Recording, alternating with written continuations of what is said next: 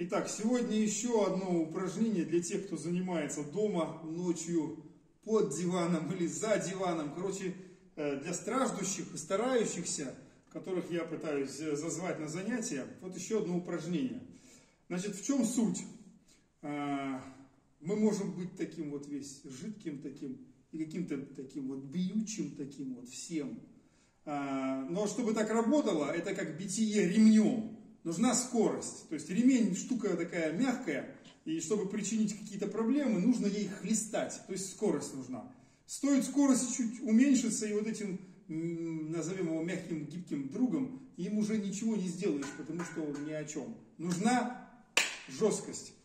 Вот. Соответственно, жесткость нужно строить в теле, чтобы мы могли что-то куда-то вкладывать. Э, можете вы ее создавать или нет, легко можно проверить, если вы упадете в упор лежа и так на всех выпрямленных руках и ногах так попрыгаете, посмотрите, как у вас средняя, так сказать, центральная часть композиции болтается, прогибается, то есть становится слабым звеном между разгибателями ноги, понятно, да, и уже передаточным звеном. То есть вот это вот все от плеча и до таза, вот эта вот вся центральная часть композиции должна быть готова Почему? Потому что ноги, они более-менее таскают тушку, они как-то что-то там пытаются напрягаться. Руками мы в повседневке что-то делаем, мы считаем, что мы можем что-то делать. И вот теперь вопрос. Становитесь вы в стойку и начинаете так раз и создавать упор на руку. На руку упор. С ноги вы прям понимаете, вот разгибатель, таз, мышцы кора начинают, косые, прямые, все они собираться в кучу. Зачем?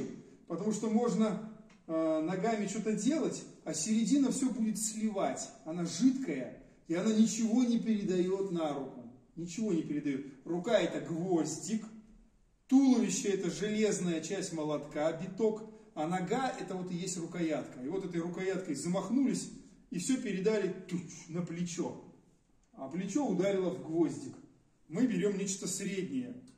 И очень медленно создаем давление. Раз туда, и секунд на 30 вот так вот напрягаемся и стараемся этот станок, если не прогнуть, то уронить в сторону стены. 30 секунд стоим, держим, держим, они заканчиваются, мы выдохнули.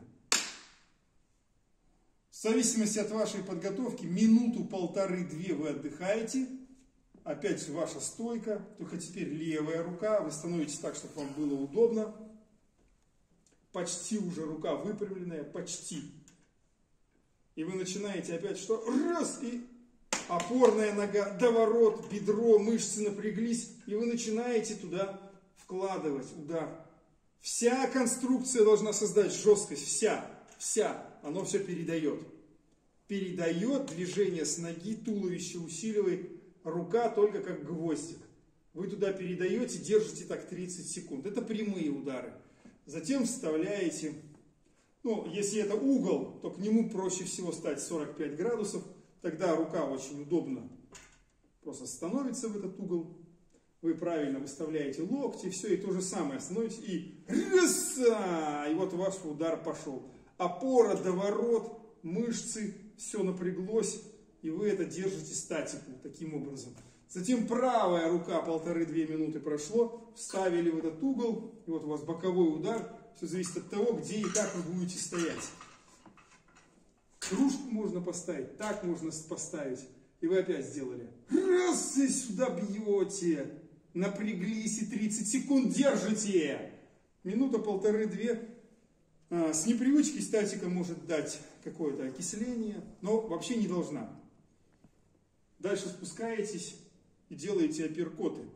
Для того, чтобы дать первую нагрузку телу и сформировать вот это вот ощущение, что такое вы, толкаясь от пола, передаете куда-то удар, усилие это.